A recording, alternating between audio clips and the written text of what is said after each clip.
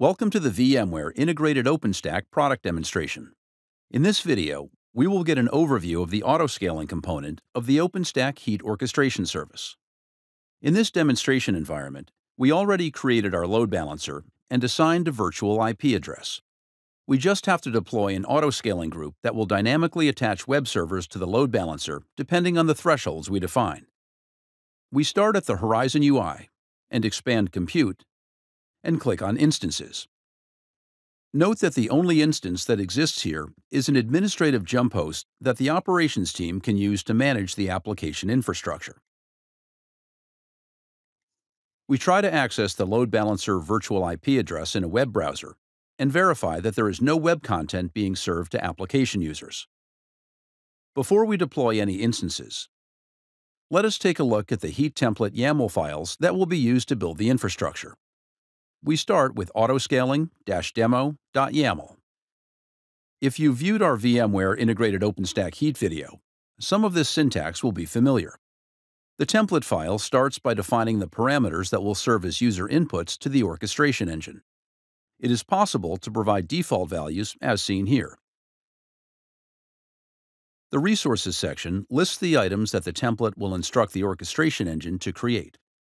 In this template, we first create an autoscaling group that consists of at least one, or at most three, instances defined by the web-node-demo.yaml file. The resource that we define here utilizes another template file named web-node-demo.yaml, and we make use of the parameters that we have defined above. Next, we define a scaling policy that will direct the orchestration service in adding more resources to our application infrastructure. In this example, the scaling adjustment is one new instance per threshold violation. Moving forward, we have an alarm defined based on a ceilometer threshold. The threshold we defined here is average CPU utilization over 5%. If the average utilization is greater than 5% for 60 seconds or more, the alarm will be triggered and the scaling policy will be followed to add a new web server to the load balancer pool. Let us switch to the web-node-demo.yaml file to see the resources that will be deployed by the autoscaling group.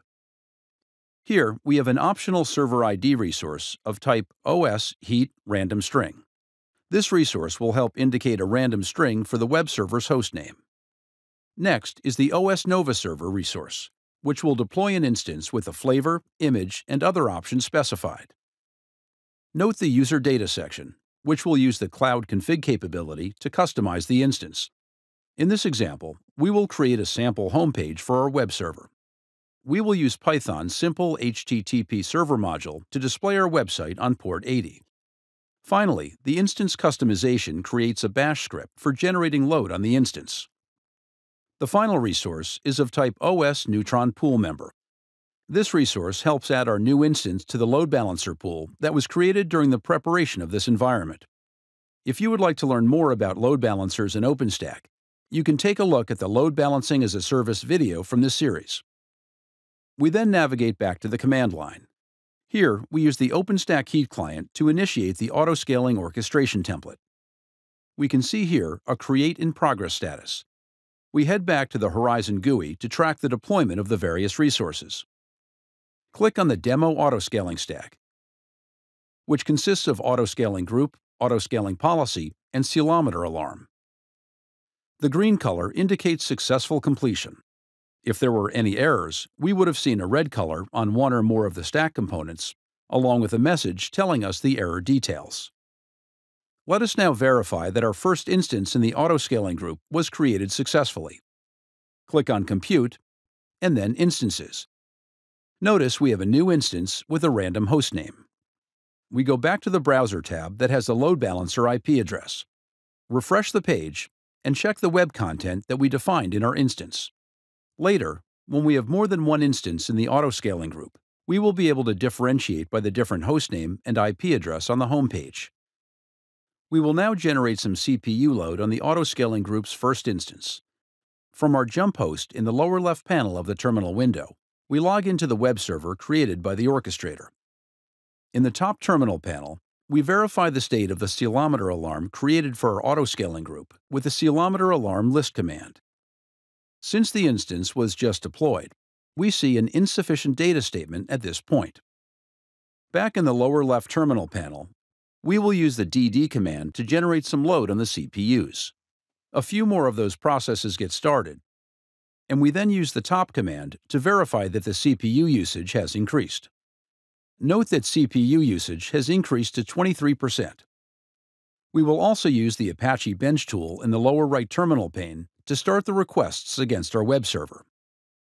Next, we will check our alarm list in the top terminal pane again. It does not show any change. So, we will let the CPU load generators run for a bit and then check again. We will check the alarm list again in a few minutes. The CPU usage alarm now shows an alarm state, which means it will follow the autoscaling policy and deploy an additional web server. Using the nova list command, we show that a new instance has been deployed.